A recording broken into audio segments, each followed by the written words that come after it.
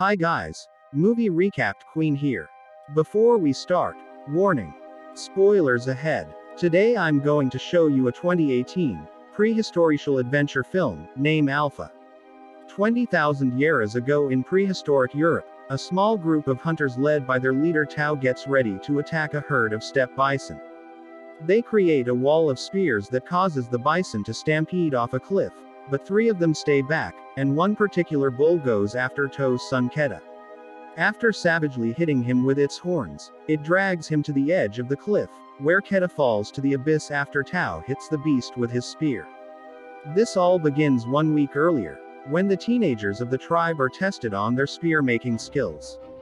The only ones to pass are Keda and his friend Kappa, so they will be brought to the last hunting expedition before winter comes. As part of the ritual that marks them as adults now, they also get beat up by the other men to learn that pain will journey with them, and they are blessed by the local shaman by the campfire. Later, while pretending to be asleep, Keda overhears Tau and his mother Rho talking. Rho does not think he is ready to hunt because he leads with his heart, not his spear, but Tau believes Keda must do his part and prove himself to the tribe. The next morning, the hunting party leaves after saying goodbye to their loved ones and getting the shaman's blessing. Rho even gives Keda an extra piece of fur as a safety token. The party begins traveling across the land by following the sacred path left by their ancestors, who have made a series of rock sculptures that leave a trail for them to follow. The hand paintings on them point at the direction they must take to the hunting ground. During the trip, they come across another hunting party led by Xi, an old friend of Tau's who has recently lost his son. Both parties begin traveling together then. Whenever he has the chance, Keda tries to prove himself to his father, but he is not able to start a fire and cannot bring himself to kill the boar the other men capture, so he feels like a failure. One night, while they are eating by the fire, they hear a noise behind them, so they swiftly jump onto a defensive position. When nothing comes, they quickly relax, which proves to be a mistake. A cave lion suddenly jumps out and snatches Kappa, who it takes away to feed on. The next morning, the men build a cairn to give Kappa a memorial service that symbolizes the passing of one spirit to the afterlife. The trip continues with only stops to hunt and rest. One evening, when they find a large and safe cave to sleep in, Tau takes the chance to make Keda get a tattoo of the constellations just like him, that way he will always find a way home. It takes a good amount of days, but eventually, they find a trail of dump that takes them to a herd of steppe bison, which brings the story back to the beginning. As he falls, Keda tries to hold onto a rough cliff edge, but he slips and lands on a further ledge, where he breaks a leg and falls unconscious. Desperate to save his son, Tau tries to climb down, but his fellow hunters stop him, pointing out it is too late. While the men bring the sleds to carry the bison on, Tau stays by the edge of the cliff, crying in denial. Now that their hunt has been divided equally, Zai's party leaves on their own to return to their home. Sato's group has one last night of camping before convincing their leader it's time to move on.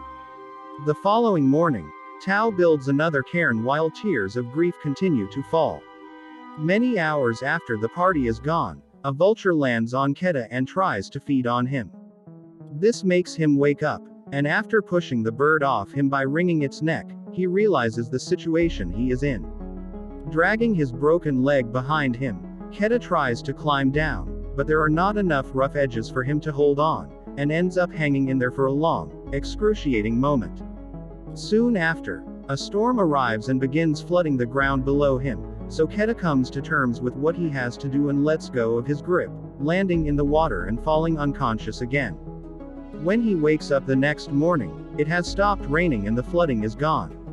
After drinking water from a poodle and splinting his injured foot, Keda slowly makes his way back to the top of the cliff, where he finds the memorial his father left for him. But Keda kicks it out in frustration when he realizes he has been left alone and must find his way home on his own.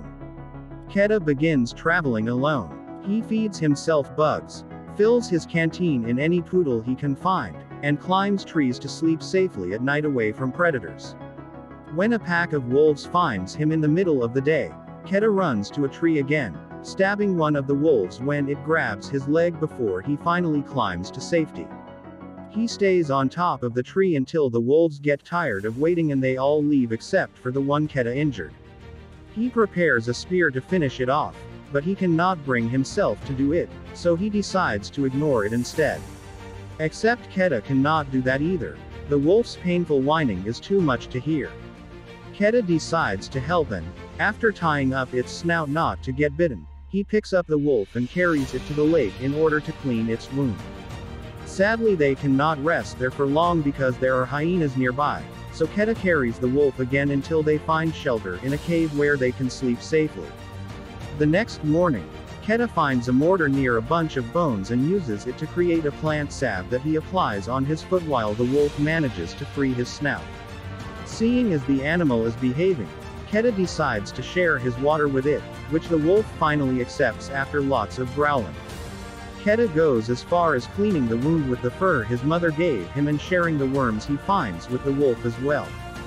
But worms are not enough to keep themselves fed, so Keda finally gets brave enough to make his first hunt. He kills a rabbit with a rock and even manages to start a fire at last to cook it. The wolf tries to take the rabbit from him, but Keda quickly pushes him away, remembering the lessons about leadership his father has taught him. He establishes dominance by always eating first and feeding the wolf after he is done. No matter how much he shares with it, though, the wolf still will not allow him to touch it. Winter is quickly approaching and Keda must find a way home before snow begins to fall.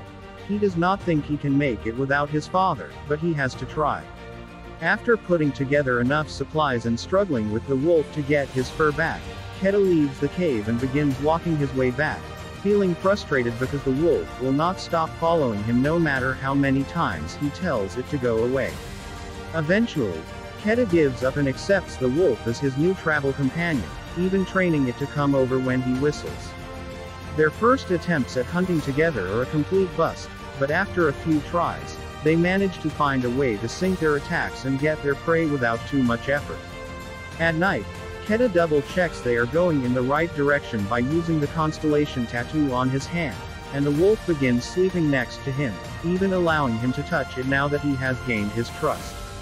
After an afternoon spent in the lake bathing and fishing, Keda decides to name the wolf Alpha.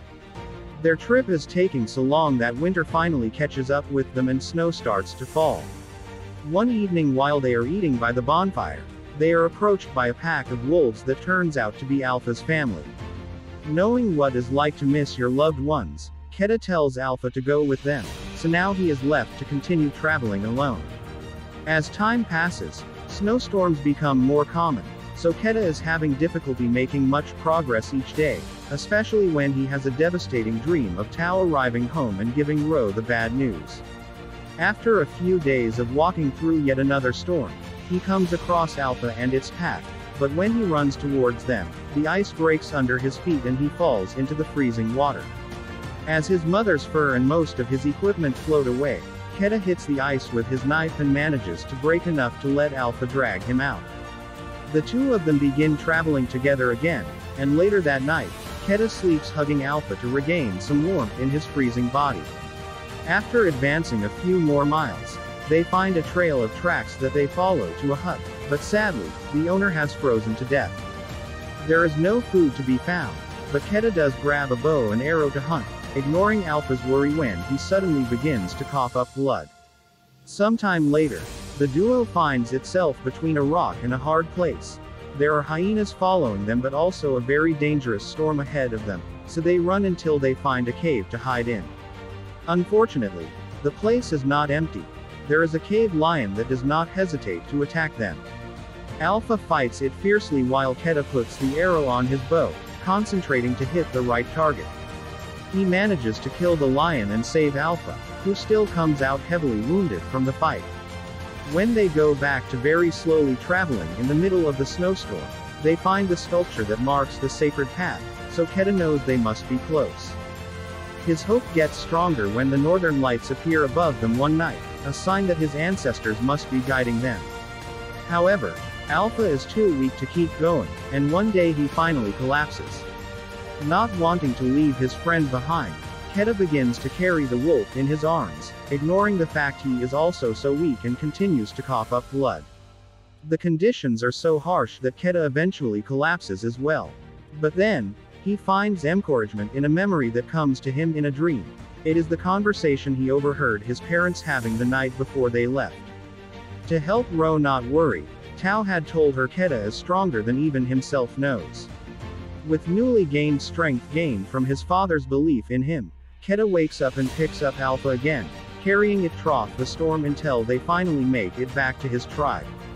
Nobody can believe what are seeing, and Tau cries as he tells his son how proud he is before taking him and the wolf into a tent to be taken care of. After Keda is patched up and fed, the shaman examines Alpha, quickly realizing what its problem is. Alpha is actually female, and she is giving birth.